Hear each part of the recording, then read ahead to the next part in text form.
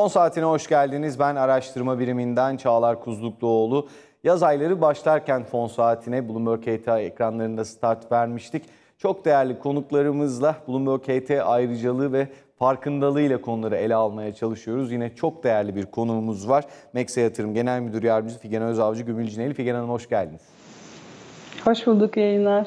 Şimdi sabah aslında fena bir açılış yapılmamıştı. En azından 9.55'te Zeynep Erataman'la biz yine bu stüdyoda e, Borsa İstanbul açılışını gördüğümüzde ama tekrar e, aslında 10 binleri yine konuşur muyuz diye konuşurken 9.900'ün hemen altındayız.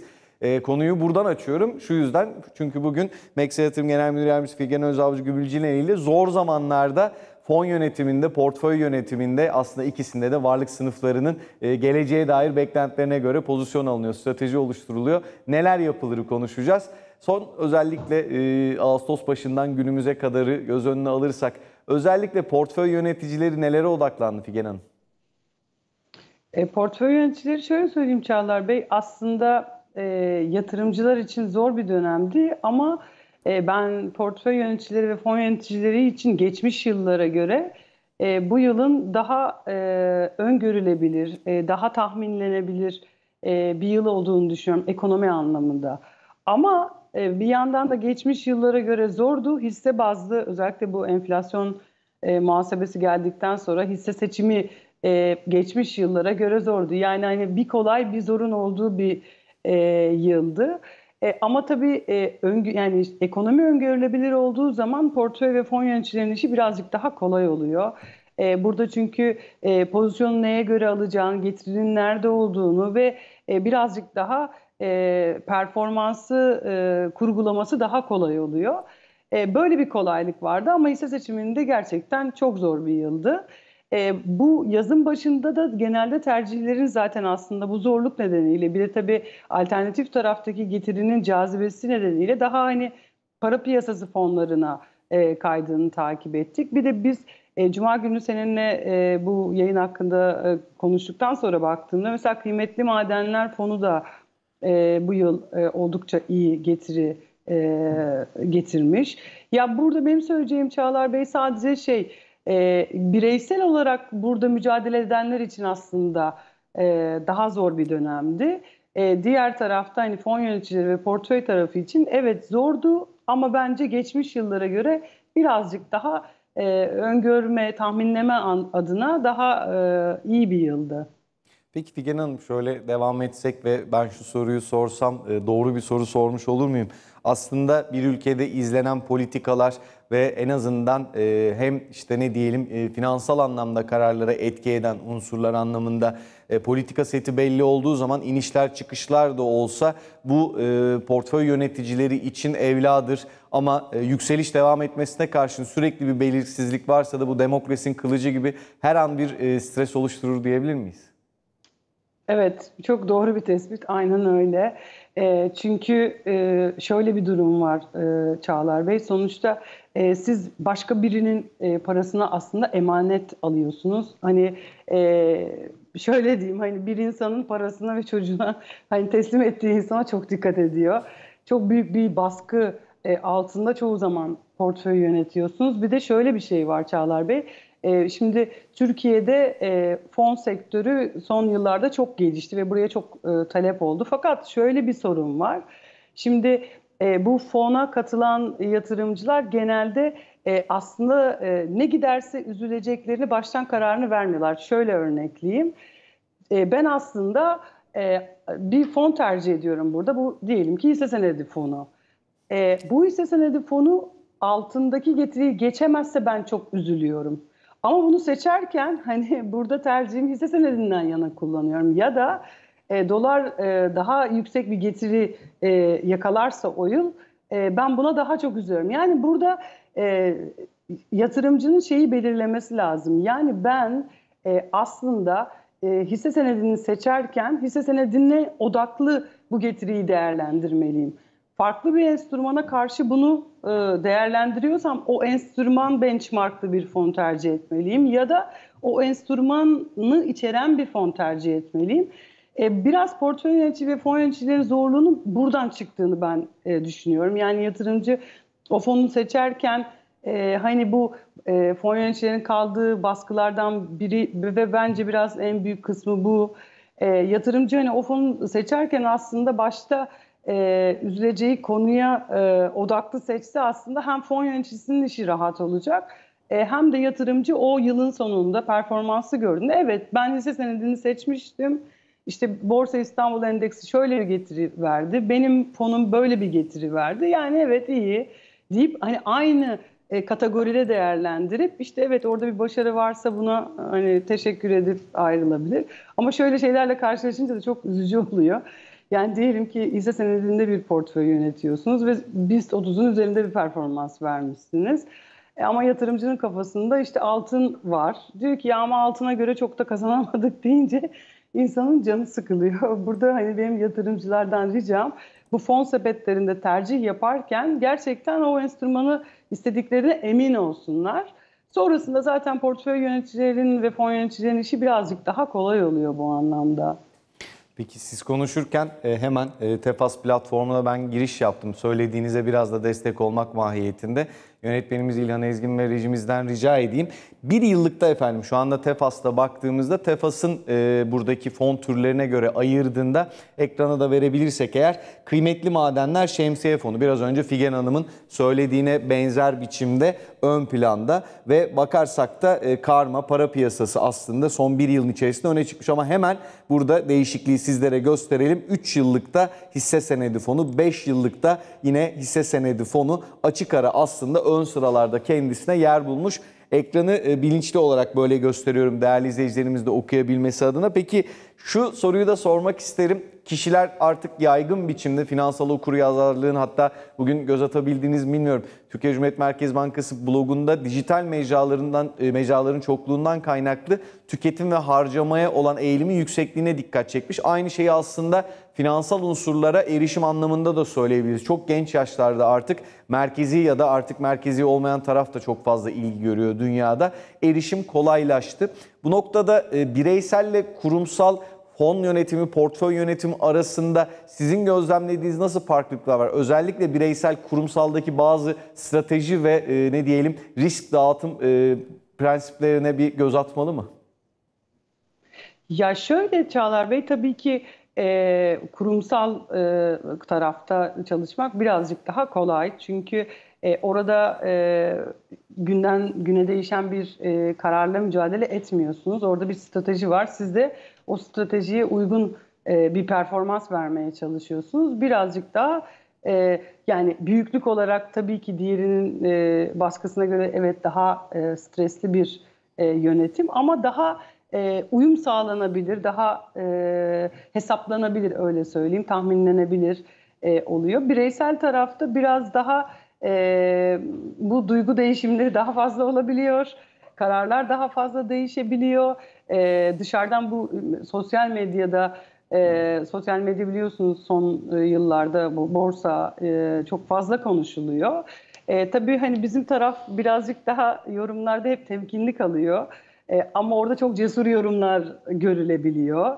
E, bu cesur yorumlarla işte bizim yorumlar karşılaştırıldığında aslında biz e, geçmiş yıllardan gelen hani bir sürü e, şey başımıza gelmiş. Yani e, biz o kadar cesur yorum yapamayabiliyoruz. E, bunu görünce burada bir duygu değişimleri yaşayabiliyor, karar değişimleri yaşayabiliyor. E, ya burada benim yatırımcılara naçizane önerim herkes bunu yaşıyor. Ben de zaman zaman bunu yaşıyorum.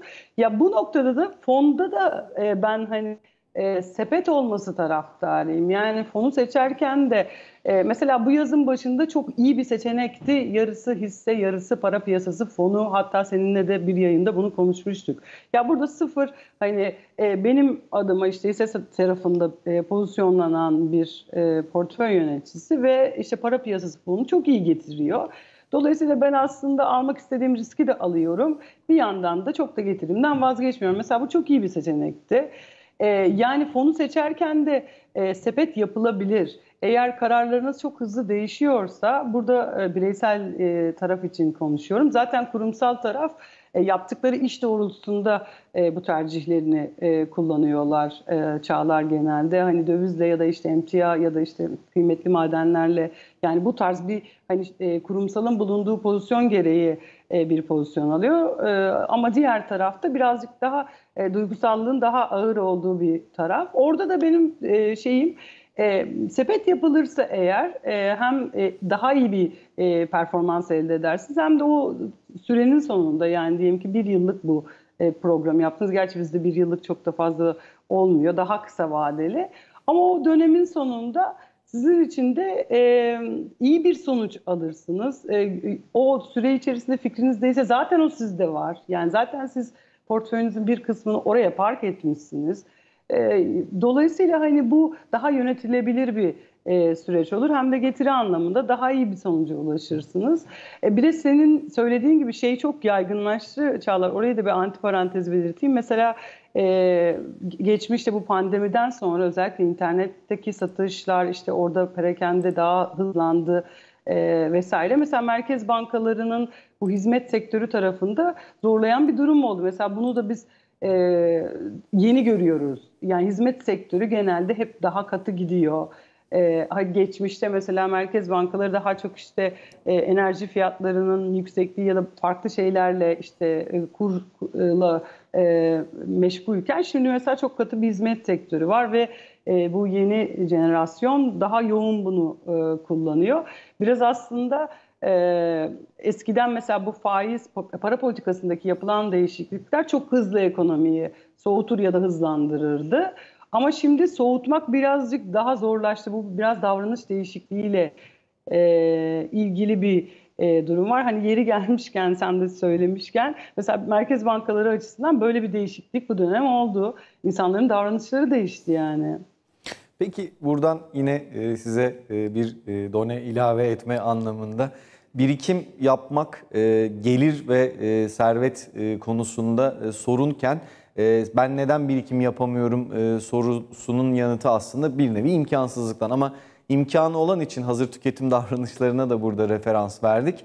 Son yıllarda sosyal medyanın gelişmesiyle de bilmiyorum rastladınız mı hiç işte ben şu e, giyim kuşam sitesinden şu kadar e, kendime kıyafet e, sipariş edeyim. Beğenmediklerimi iade edeyim. İadeden gelen parayı e, birikime yönlendireyim gibi. Hatta buna sponsor olan platformlar da var. E, finansal aracı kurumların içerisinde değil belki ama bir takım platformlar bunlara e, sponsor da oluyor. Ben burada sürdürülebilirlik konusunda çok ciddi eleştiren taraftayım ama e, birikim imkanı olduğu halde e, özellikle e, birikime ben işte finansal okuryazarlığım o kadar e, yüksek değil neye şey yapsam işte kendimi risk altında hissediyorum diyen ve benim finansal okuryazarlığım gayet iyi. Bu noktada da işte biraz önce söylediğiniz Türkiye Cumhuriyet Merkez Bankası düzenlemeye de dair okuyup kendime göre pozisyon alıyorumun bir ortası var mıdır? Ya bir ortası şöyle e, Çağlar Bey, ya şimdi e, fiyatlar her zaman böyle kalmayacak. Yani beni e, şu an izleyenler şimdi şey çok e, uzak oldu. Yani bir şeyi e, geçmişte nasıldı tasarruf yaptığınızda e, bir arabaya, bir eve ya da bir e, birik şeye e, almak istediğiniz herhangi bir şeye e, ulaşmak kolaydı. Şimdi bu zorlaştıkça insanlar bu sefer e, eğer diyelim ki araba alamıyorsam o zaman kıyafet alırım. O zaman işte başka bir şey alırım. Bu harcamayı arttırdı. E, bu alternatif çözümler yani senin söylediğin işte alışveriş sitelerinden e, yapıp işte gelen iadeyle tasarruf yapmak tabii bu e, bilemiyorum çok ilginç bir yöntem. E, ama e, dediğim gibi bu, bu her zaman böyle olmayacak. Ya bunlar döngüler. Siz şimdi Türkiye için konuşalım. Türkiye tekrar bir e, yol haritası çizdi kendine. Bu fiyatlar normalleşecek. Biraz uzun sürebilir. E, bu sizin sabrınızı zorlayabilir ama normalleşecek. Yani önümüzdeki işte 3-5 yıl içerisinde şu an konuştuğumuzdan daha farklı bir noktada olabiliriz. Bunu hesap ederek yani böyle çok umutsuzluğa düşmeden evet tasarruflarınızı değerlendirmelisiniz ama ee, şeyi söyleyeyim e, Çağlar Bey. Örneğin ben mesela şu an bu işi yapıyorum. 24 saat takip ettiğim, 18 saat gün içinde takip ettiğim dönemler oluyor. Buna rağmen ben e, bir karar alırken bu işin e, şeyi kim, uzmanı kim? Örneğin yurt dışı yapacaksam dönüp yurt dışındaki arkadaşa soruyorum. Buradaki hisselerden hangisi olur? BİM e, gibi. Şimdi benim buraya erişimim e, çok iyi. Yani ben bulunduğum e, şirket, yani bu zaten burada çalışıyorum. Ama şimdi bu bilgiye, bu konforda ulaşamıyorsanız ya bu bilgide, bu konfora ulaşanın işte bir fonsa bu, e, burada pozisyonlanmalısınız. E, dolayısıyla hani her işin bir uzmanlığı var ya yani ben ekonomiyi çok iyi takip ediyorum ama hisse senetlerini tek tek çok iyi e, bir araştırma birimindeki analiz kadar takip edemem. E, işte bu bir aslında şey oluyor. Siz e, aslında bir fona ya da portföye yatırım yaptınız. Aslında bunun totaline yatırım yapıyorsunuz. Orada da sadece bir kişinin kişisel fikri ile e, hareket edilmiyor. Orada bir sürü analiz var. Herkes e, inceliyor ve nihayetinde bir karar çıkıyor. Ve siz aslında o karara yatırım yapıyorsunuz. Ve yıllar içerisinde baktığımızda da genelde bu tarz alınan kararların doğruluğu e, oluyor. Evet siz dönemsel olarak hani bireysel e, çabanızla e, dönemsel olarak daha iyi kar edebilirsiniz ama 24 saat ya da işte uzun bir süre bu ekranı takip edemiyorsanız farklı bir işiniz varsa ya tercihen yani niye bu stresi e, çekesiniz ya da hani niye burada bir e, uzmanlaşmak e, gereği duyasınız. Ya burada bu işi yapanlar var ve bu birçok şeye erişimleri çok kolay. Hani bu insanlara teslim edip burada e, devam etmek benim için daha konforlu. E, ama insanların da yavaş yavaş buna doğru evrildiğini de görüyorum.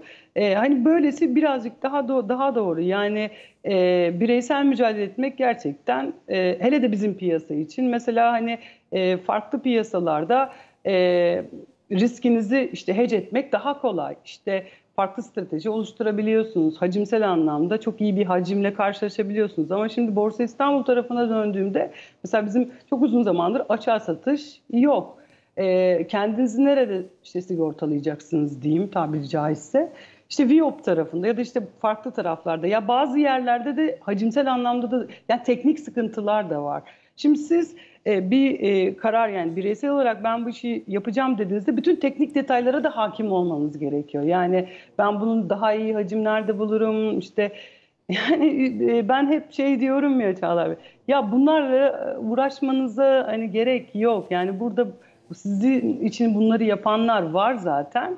E, sadece şeyi söylemiyorum. Yani yıllardır bu işi yapıp sadece tek işi bu olanlar var. Tabii ki e, bizim e, hani bizim masanın bu tarafında değil de karşı tarafta ama sadece Borsa İstanbul'la ilgilenen bunlar bunlar ayrı bir e, tarafta.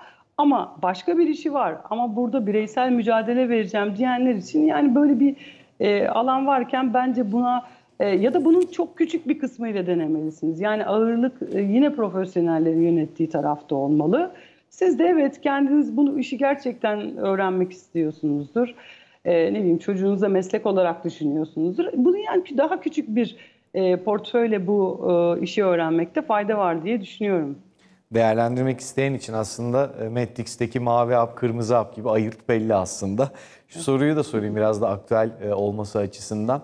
Borsada işte ilk sorumda e, vurguladığımız ve şu an hepimizin takip ettiği gibi uzun yıllardır alışmadığımız bir e, dönem aslında. Her sene benzerini yaşadık belki ama bu dönem en azından gördüğüm kadarıyla tepkilere biraz daha insanların canını sıktı. Şimdi e, düzenlemeler, sene sonuna dair işte faiz indirim beklentileri vesaire de var.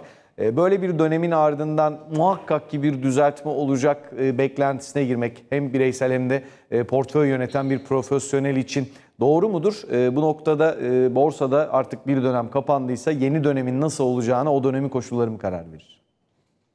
E, şöyle e, Çağlar Bey, şimdi aslında biz şimdi so bu günümüzden gideyim ben bu soruya cevap hem de e, daha şey iyi bir bilgi olsun öyle söyleyeyim. Şimdi önümüzdeki şimdi dördüncü çeyreğe girdiğimizde biz artık faiz indirimlerini konuşmaya başlayacağız e, Çağlar Bey. Bu yılın e, tamamında hani iyi performans vermiş portföyler yılbaşı tekrar bir karar alacaklar. Belki bu ara dönemde de faiz indiriminin son çeyreğe gelmesi itibariyle bir miktar bu taraflarda pozisyonlanmalar e, olabilir. E, bir önceki yayında seninle hatırlarsın konuşmuştuk. Yani e, hisselerin 12 aylık hedefleriyle arada e, fark bayağı açıldı. Şimdi mevduat faizleri düşmeye başladığında bu fark giderek açılacak ve gittikçe cazibe arz edecek. Bu son çeyrekte büyük bir ihtimalle şöyle bir tablo seyredeceğiz. Geri çekilmeleri alım fırsatı olan olarak gören ve burada kademeli olarak burada pozisyon açmaya başlayan şeyler görebiliriz. Ama bu çok sınırlı olacaktır. Asıl yıl kapandıktan, yeni yıla girdikten sonra bu pozisyon değişikliğinin daha yoğun olma olasılığı var. Çünkü e, şimdi bu yılın başından beri bir performans elde ettiyse eğer e, portföy tabii ki yılı o şekilde kapatmak isteyecek ya da minimum kayıpla ya da kararlarını kısa tutacaktır. E, ama daha uzun vadeli, daha uzun soluklu bir hareket e, yılın başlamasıyla birlikte e, portföy ve fon tarafı için konuşuyorum orada daha yoğun bir giriş e, olma olasılığı var. Tabii faiz indirimini konuştuğumuz için burada e, işte bankacılık sektörü ve bankacılık sektörünün e, şeyleri yani ne hareketlenir faizinde işte gayrimenkul yatırım ortaklıkları olabilir.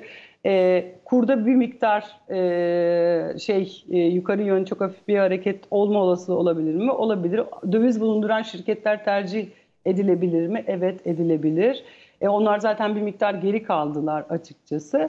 E, ama böyle hani önümüzdeki 4 ay böyle geri çekilmelerde sonrasında hikaye barındıran şirketlerde kademeli e, alışlar görme olasılığımız var. Bir de geçtiğimiz hafta bizim e, yine bonoya bir giriş olmuştu.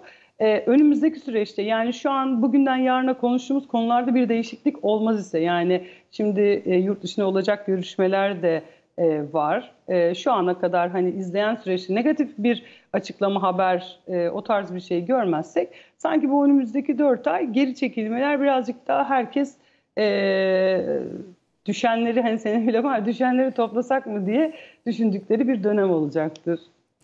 Nexa Yatırım Genel Müdür Yardımcısı Figen Özavcı Gülmül Cineli her zamanki gibi yine ışık dolu, bilgi dolu ve keyifli sohbetiyle bizlerle birlikteydi. Bu kez fon saatinde çok teşekkür ediyoruz kendisine ve bu haftaki fon saatinin sonuna geliyoruz. Önümüzdeki hafta fon saatinde Bloomberg KT ekranlarında tekrar buluşmak ümidiyle. Hoşçakalın.